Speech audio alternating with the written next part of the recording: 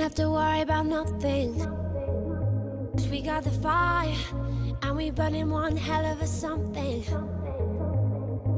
They, they're gonna see us from outer space, outer space, light it up.